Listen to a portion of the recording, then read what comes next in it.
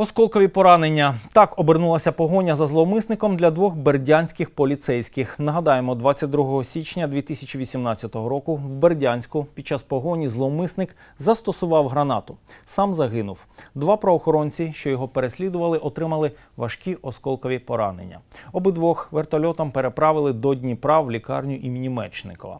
Численні операції, місяці реабілітації.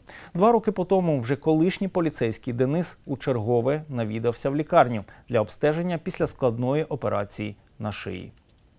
Ему большой осколок прошел через горло и отделил гортань от трахеи. Ситуация катастрофическая. Жизнь на волоске. Э, пришлось выполнить э, одну большую операцию и две пластические операции по восстановлению.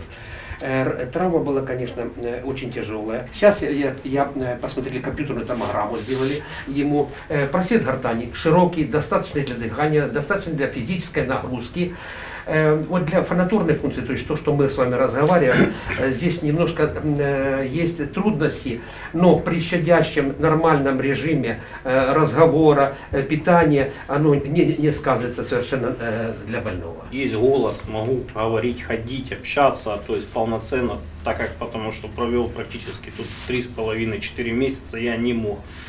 Восстанавливал, восстанавливал свой голос, то есть со мной работали э, врачи, логопеды по восстановлению, по этому всему, так как еще добавок у меня перебита одна связка голосовая, Раз в полгода мы проводим КТ-исследования, где пересматриваем всю динамику. Все было сделано вовремя.